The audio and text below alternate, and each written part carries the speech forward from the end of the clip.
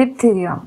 The diphtheria is an infection which is caused by gram-positive bacillus which is called as Corynebacterium diphtheriae and this Corynebacterium diphtheriae, the Greek word for the leather and which means a tough pharyngeal membrane is formed and that is the clinical hallmark of this infection.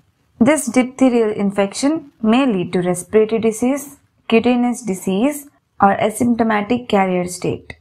Coming to the epidemiology, the spread, the spread of this diphtheria is airborne that means droplet or via the skin lesions or respiratory secretions. Humans are only the reservoir that means asymptomatic carriers and immunization has minimized the transmission of toxigenic strains of this disease. The high morbidity and mortality is lesser for 15 years of age.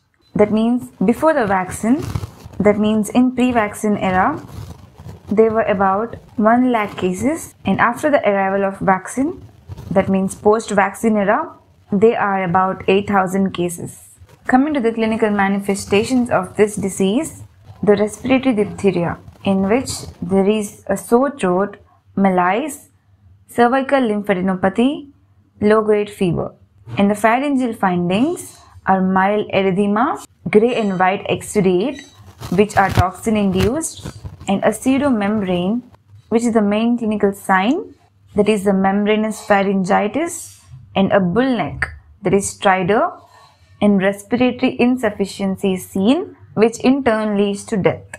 It can also cause nasal diphtheria and laryngeal diphtheria. Coming to the cutaneous type of diphtheria, this cutaneous type of diphtheria forms non-healing ulcers and shallow ulcers.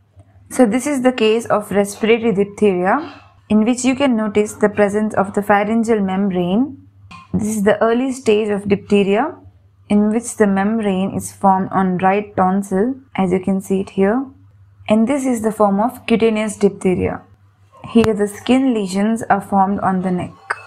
And coming to the systemic manifestations of the diphtheria, these are caused by the dissemination of the toxin which causes myocarditis, peripheral and cranial nerve paralysis and renal failure. And the diagnosis of the diphtheria is mainly upon the clinical manifestations and the epidemiological history so a culture is taken from the respiratory tract secretions or the cutaneous lesions of this diphtheria and along with the positive culture, the specimen collection is by the throat swab, the nasal swab, which is taken from the portion of the membrane. Coming to the culture media, it is done on Loeffler's culture media. Elek test is for toxin detection and the serials ECG and the cardiac enzymes are also done for the diphtheria and the neurological testing. Treatment include antibiotic therapy plus diphtheria antitoxin plus airway management as the respiratory diphtheria is involved. So the airway management is the main step.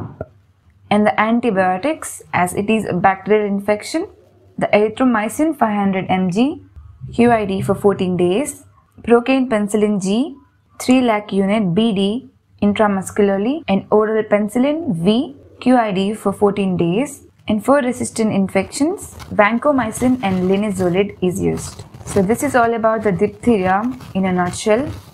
If you like this video, do subscribe to my channel and do check on another videos from my channel.